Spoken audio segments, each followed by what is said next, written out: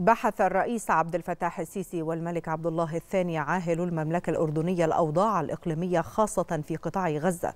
وخلال اتصال هاتفي استعرض الجانبان الاتصالات المكثفة التي تجريها الدولتان لاحتواء الموقف المتوتر بالشرق الأوسط وأكدا على أولوية التهدئة في المرحلة الحالية خاصة من خلال التوصل إلى وقف فوري ومستدام لإطلاق النار بقطاع غزة لنزع فتيل التصعيد.